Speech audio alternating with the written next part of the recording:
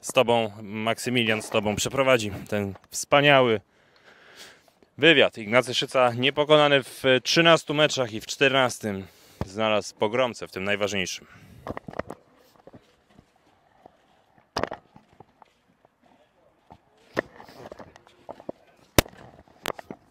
I proszę Państwa, witam wszystkich serdecznie, to jest Ignacy Szysta. Przegrał w końcu mecz w Polskiej Tenisa. Ignacy, powiedz mi, jak sobie w perspektywie to spotkanie przebiegało? No nie wiem, no. No wygrał lepszy, no co mam powiedzieć. No. Czy ta kontuzja kostki jednak wpłynęła ostatecznie na Twoją dyspozycję w drugim secie, bo wieść było mocno, że już poruszasz się naprawdę topornie. no wiadomo, no ciężko się gra z skręconą kostką. No, to, nie wiem.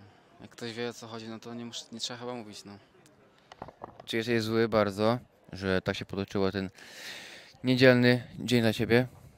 Znaczy no na nikogo nie jestem zły, no po prostu stało się, no to już nikt nie ma na to wpływu, no to trudno się mówi. Może za rok będzie lepiej.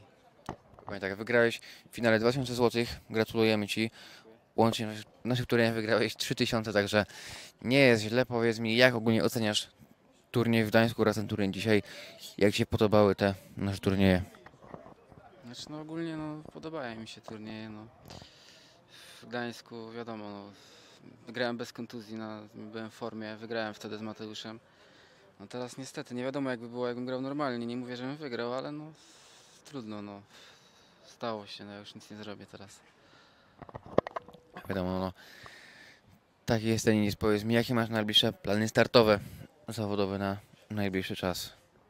No, na razie już końcówka sezonu jest w sumie, więc jeszcze tam mi tylko liga została u siebie na miejscu. A w zimę nie wiem, czy będę coś grać w turniejach, raczej nie, więc dopiero na, na lato, na, na przyszły sezon się szykuję raczej na, na ziemię. Czyli na innych nawierzchniach raczej nie grywasz. No, raczej wolę grać na ziemi, ale też nie, jakoś tak nie lubię grać zimą w, turnieje, w turniejach, nie, wolę, wolę w lato. Czyli lato, ciepełko, piwełko to są Twoje klimaty. No, coś takiego, no, tak. A powiedz mi, gr- grasz tenisa od dziecka. Powiedz mi, kiedy tak za zacząłeś myśleć, że nie będziesz zawodowcem, tylko będziesz trenerem oraz grał, będziesz grał w turniejach właśnie amatorskich. Y, No, właściwie grałem do dziś tak do 17 roku życia, potem praktycznie przez 4 lata nic nie grałem, w ogóle zero, nie miałem rakiety w ręku ani razu i teraz od 4 lat już tak, już więcej gram, intensywniej, a w turniejach tak gdzieś od 3 lat regularnie już jakiś tam gram. A w tym roku już zacząłem więcej grać tych turniejów, bo się pojawiła wasza, wasza liga, tam liga na miejscu jeszcze się pojawi, pojawiła, więc dużo jest grania ogólnie teraz. Powiedz nam, widzę, czym była spowodowana ta czteroletnia przerwa w wieku 17 lat? Dlaczego tak zacząłeś tenis? Ostawiłeś na drugi plan. Znaczy się miałem kontuzję i tak rok nie grałem w ogóle. No i potem już, już nie wróciłem do grania. Jakoś tak nie wiem. Tak się stało, no i. No kontuzja przez kontuzję. No. Wiadomo, kontuzje są taką bolączką sportu.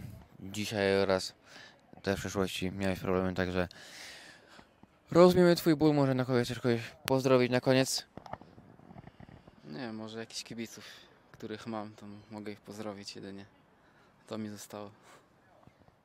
Świetnie, dziękujemy. No, szkoda Ignacy, że ta kostka nie wytrzymała napięcia na weekendzie, ale taki jest sport, sam rozumiesz. Przykro nam, ale i tak dobra turniej z swojej strony. Dzięki wielkie Ignacy. Do zobaczenia jeszcze kiedyś. A z Państwem powoli tutaj będziemy się żegnać. Jeszcze tutaj Radosław ma parę słów